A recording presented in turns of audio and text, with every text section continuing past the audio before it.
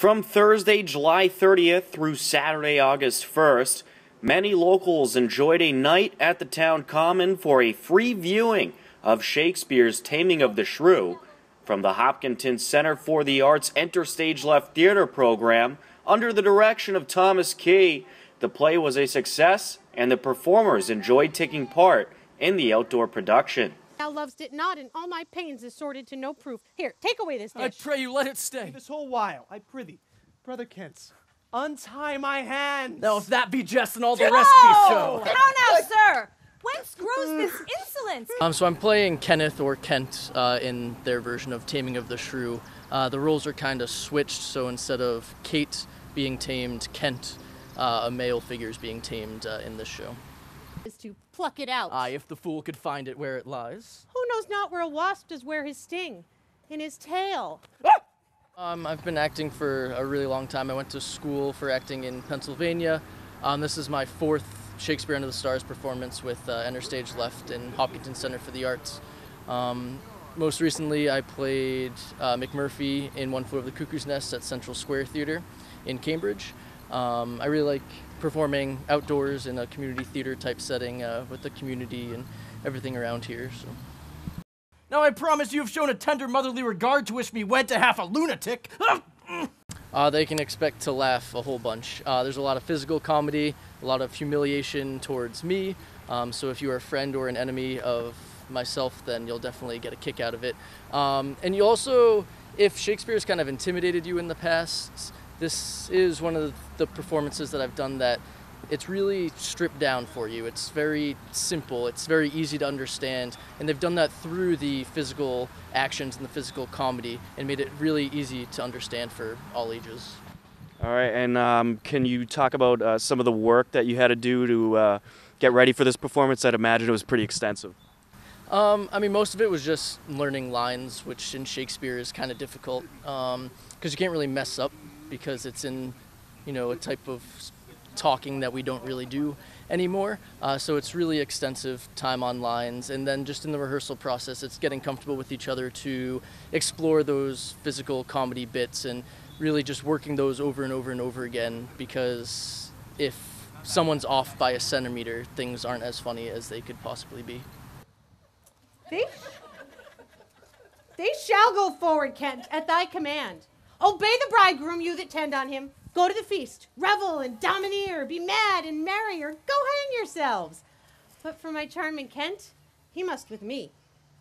I'm playing Petruchia, um, who in this gender swapped version tames the shrewish Kent.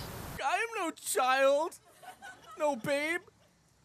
Your betters have endured me say my mind, and if you cannot, best you stop your ears. Way back in school, I did some acting that I didn't do any for a very long time, and back in 2012, a friend of mine dragged me into a community theater show, and I haven't stopped since. He will not come? Oh, vile, intolerable, not to be endured. Sirrah Grumio, go to thy master, tell him I command him come to me. Um, there was a lot of lines to learn, and you know, a lot of, a lot of things that you have to know, and then you do them over and over again, and then it just becomes natural. So, by the time the show goes on, I don't think about it anymore I did proceed in practice with my younger son.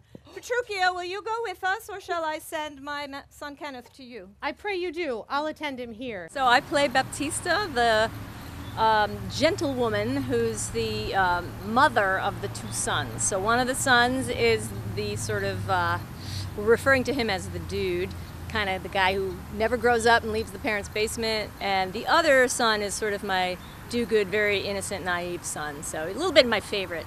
Um, the other one exasperates me all the time, so it's kind of funny. Fox, meddle not with him.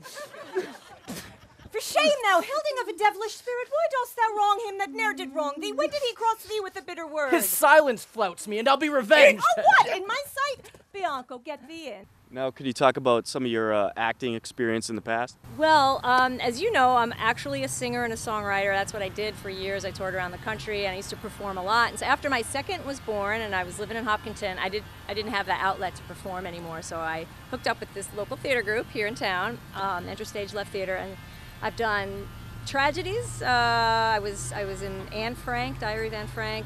Um, I was in their production of Twelfth Night. I played Feste the Clown and I played my ukulele.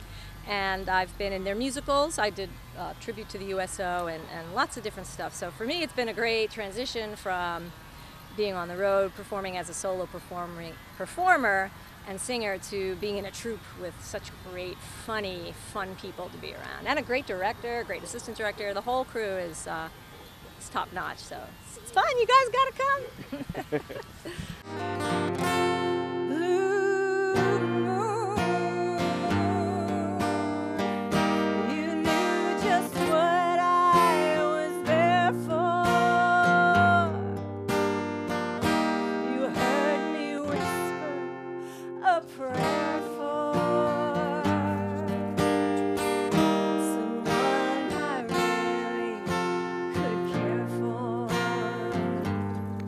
So I think they'll be surprised, you know, because um, I think the kids, even the kids will get it. As I put it on my Facebook post, uh, bring your kids and your uh, maybe not so uh, theater fanatic husbands, speaking from experience. Um, you know, they don't think they're going to get a Shakespeare show, but as uh, you may have heard, this one's really sort of geared towards a basic understanding of Battle of the Sexes, and it's just a romp, and it's it's I think they can expect just a lot of uh, fast-paced action and and verbiage, a la Shakespeare.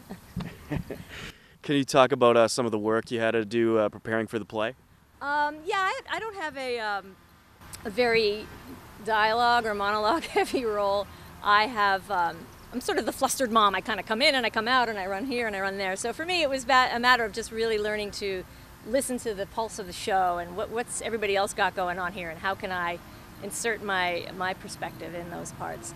Um, so for me, I just had to just listen a lot. I come to rehearsal prepared with my own lines and then listen to what everybody else was doing. So it was a lot of fun.